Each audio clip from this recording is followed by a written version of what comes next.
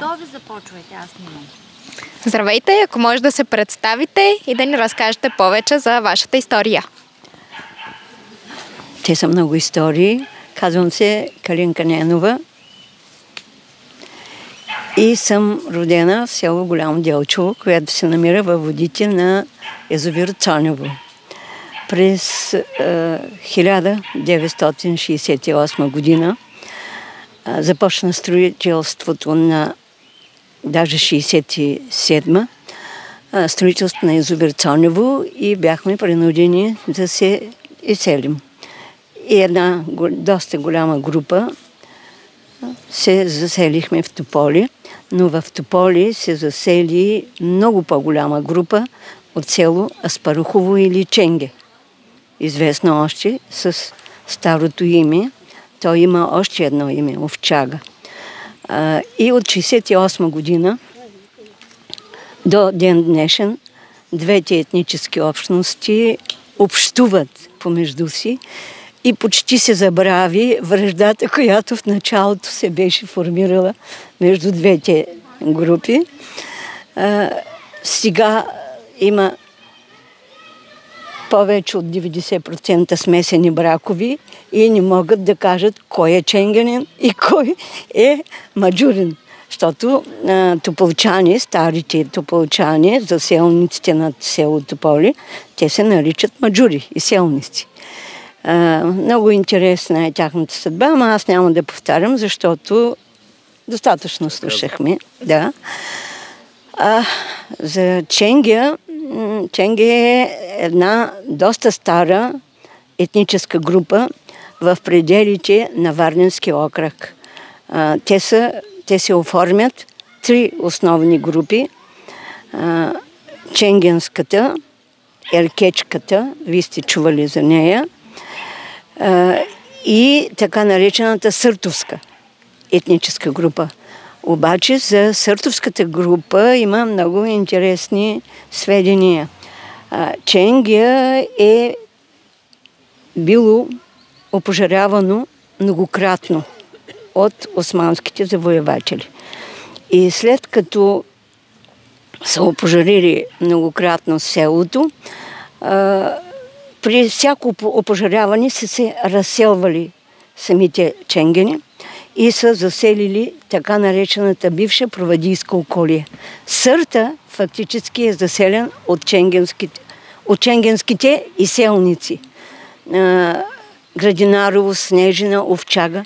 Най-старото село на Ченге е Овчага. И сега до Снежина, между Снежина и Градинарово има село Овчага, което е заселено от ченгени. Храброво, Китка, Славейково, едното Марково, което не е в а, шуменските предели, то също е от Ченге заселено. И а, ченгени се обособяват като самостоятелна група по различен начин се обличат от останалото население. А, след дългите опожарявания една група от Ченгя решава инициативен комитет на днешния речник да отидат при султана и да искат покровителство. Отиват при султана и казват, че не искат повече да бъдат опожарявани, ако може да ги обяви за пазачи за охрана на трите прохода. Руенския, Ришкия и Айтушкия проход. Той казал, да, ама вие сте толкова много народ, по какво ще ви отличавам аз от останалите? И след малко размисли, ченгени казали, ами всички се обличат в така наречените суришки дрехи. Естественият цвят на вълната, бежево-кафяво ние ще се обличаме в черни дрехи, чернодрешници.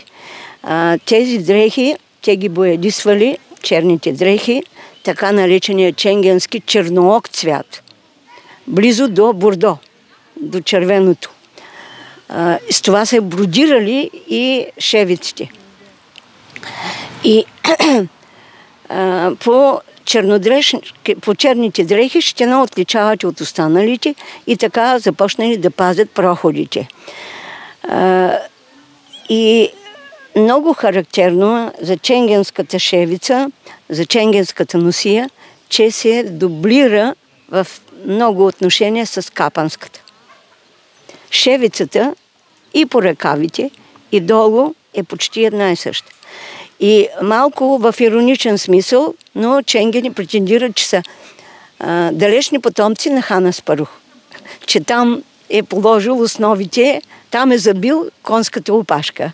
Разбира се, а, казвам го в ироничен смисъл, защото 681 за Ченге започваме да узнаваме от а, 1480 година са първите официално писменни а, сведения. Аз това го прочетох в Народната библиотека София. И а, тогава, след като са отишли при султана, а, Ченгия е бил обявен за вакъв на вакъв номер едно на султан Селим I. На султан Селим I, вакъв номер едно. 1483 година избухва в северо България възстание. Това възстание е било потушено в района на Ченге. Али Паша, който е командвал турските войски, след а, битката той разбрал, че е победен, но като погледнал и победителите колко са останали, казал, е, това е Ченгене работа. Ченгене работа било мъртво поле или е, голяма битка, в резултат на която са загинали толкова много и от победителите, от победените, че не може да се каже кой е имал полза.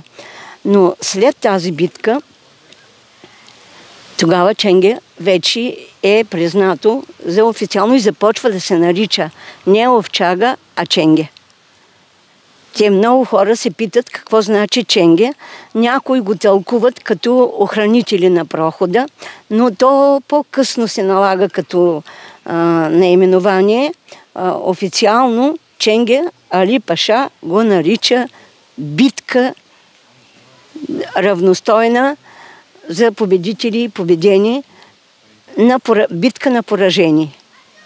А каква е така връзката с ваяците? Защото те също а, всъщност имат претенции, че са на рода Булу наследници, че са пазители на проходите. А, ами, връзката... Двете общности или всъщност само наименованията са различни? А, ами, те наистина много са близки двете общности. Първо по носията си приличат. Именно черно и бяло и там ми казаха, че носията на ваяците е черно и бяло. Да. А, и а, Голица и Ченгя претендират да бъдат освободени от еничърския данък. Именно, да. да. И най-напред в Голица... А ще ни кажете ли какво е еничърския данък?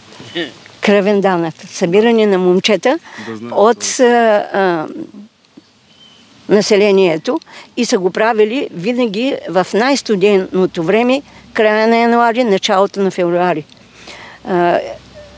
По този повод, на 2 февруари е посветен на децата, които са спасени от еничери. Мъжкият, да, Петлев ден, те, те е в ироничен смисъл пак мъжкият данък, мъжкия празник. 2 февруари, мъжки празник, но той е посветен на съхранените българи а, против еничерството. И а, за еничерството предполагам, че знаете. Да. В Голица сте ходили. Да. Знаете, а, но в носията, в ризите, в шевицата има много общи елементи.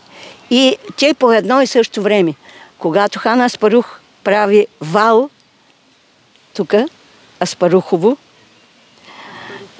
той започва от тук и минава през Еркечките села. А, това означава, че тук е поставил началото на а, българската, а, границите на българската държава. То началото е много далече, но ние няма да се връщаме на него. И характерно за празниците на а, Ченгя е, че те са общо български празници. Само има определени моменти, елементи в празниците, които постепенно започват да се заимстват и да се преливат един в друг. Зависи коя група ще наделее този празник. Елементите на, този, на тази група започват да се вмъкват в празника. Друго какво е? Как успявате вие да предавате на вашите деца и внуци, как успявате да предавате и те приемат ли лесно или не са толкова близки с тази история, която ни разказахте до сега? Аз съм учител по история, но не го казах в началото. В часовете си по история, поначало в разписанието, в разпределението в часовете по история, винаги имам а, няколко часа посветени по краезнание. Краеведение или краезнание, на кра... краезнание на български.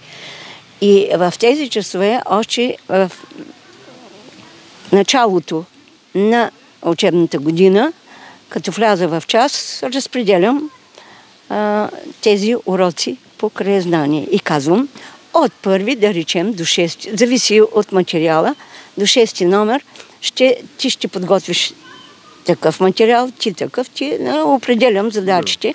А, когато става въпрос за създаване на селото, ние, например, тук за, за Тополи събрахме много материал за създаването на селото за Стоян Буинов. Стоян Буинов е пратен от Раковски преди а, легията, преди създаване на легията, е изпратен а, от Раковски да, да проучи, да събира младежи за легията и да създава революционни комитети.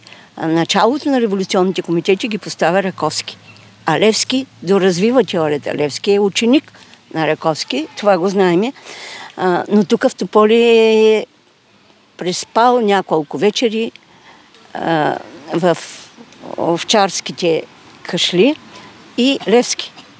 Той даже се е отбил в а, фабриката на така наречените маслови. Масло, маслови, да, правилно е ударението така. И а, Стоян Буйнов събира материали, тук в Чифлика се е прикривал и успява доста младежи да организира за легията на Раковски. Само един момент, извините. Още как, много материали и но, а, носи са представили и сега като ме срещнат бабите, ме носят. Моята носия е сборна носия. Престилката я намерих за изтривалка, взех и изпрах я. Фустата е от майка ми, а ризата ми е подарък от една, от една баба на бивша ученичка. Когато се жени, две години след като завърши, тогава дойдоха да ме дарява с ризата. И така, учениците много го бях запалила по този проблем краезнанието. Те така се интересуваха. Тук за ЖП линията Варна-Руси. Една ученичка, дъщерята на бившата медицинска сестра Донка Неделчева. Нелито. Нелито такива подробности беше събрала за ЖП линията, че аз ги оставих обаче, като замина, ги оставих в кабинета по история – но майче няма никаква следа от тях. А, приемственост от старото към младото поколение има и аз успях да я осъществя. И даже поставих началото на лазаруването, макар че не мога аз да пея. А, не съм певица, Нямам такъв талант, но тук имаше една леля дочка. Тя научи децата на маджурските лазарски песни, а пък една баба Каля от ченгенската група, тя ги репетираше, след това една баба Горанка, тя продължи, виках ги в час, ние провеждахме в училището и час по родинознание. Имахме в четвърти клас, като свършихме историческата част, аз даже и на трети клас предавах родинознание, като свършихме а, а, а, историческата част, тогава направихме тържество. Като присъстваха баби, дядовци в часа и а, то беше цяло тържество. В стола на училището го направихме и те ни предадоха уроци за празниците, кой каквото знае за своето село, от двете групи, от Маджурската и от Ченгенската. И Чилика каза песните, така на...